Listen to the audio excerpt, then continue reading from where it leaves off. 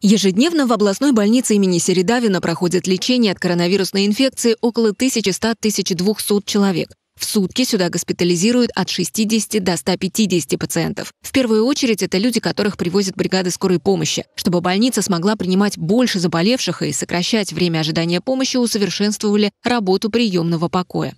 У нас расширены площади на втором этаже.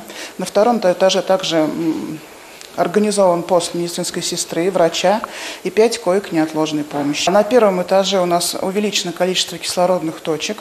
А, увеличены также штаты сотрудников, врачей, медицинских сестер, санитарок, чтобы а, в быстром порядке сортировать и координировать пациентов по стационару, по тяжести состояния, а, диагностировать, проводить КТ-исследования, проводить осмотры, давать рекомендации амбулаторным пациентам. Большую помощь оказывает больница Самарский государственный медицинский университет. Студенты и ординаторы пополнили штат сотрудников, в том числе младший и средний персонал, который так необходим в работе с больными. Разгрузить стационар помог и санаторий Можайский, на базе которого пациенты проходят реабилитацию после COVID-19. Усовершенствовать работу с информационными системами и уменьшить документооборот помогает принцип бережливого производства, то есть сокращение временных затрат и оптимальное использование ресурсов, что приводит к повышению качества оказываемых услуг. Тут, конечно, оказало влияние на маршрутизацию пациентов э, и то, что э, открылись другие э, госпитали, у которых уже изменилась немножко маршрутизация по компьютерной томографии,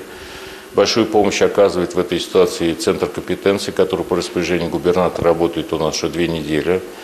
Э, то есть в основном это э, разрабатывается, конечно, принцип бережливого производства. И на сегодняшний момент все те э, пожелания, которые не высказывают, мы обсуждаем вместе с клиницистами и сразу внедряем. Благодаря принципу бережливого производства и выстроенной системе взаимодействия с неотложкой и скорой помощью удалось значительно сократить время ожидания в приемном покое и решить проблему с очередями, на которую ранее обратил внимание губернатор Дмитрий Азаров. Теперь помощь пациентам с коронавирусной инфекцией и подозрением на нее должна быть оказана в течение часа, а иногда и раньше, в зависимости от тяжести состояния. Светлана Кудрявцева, События.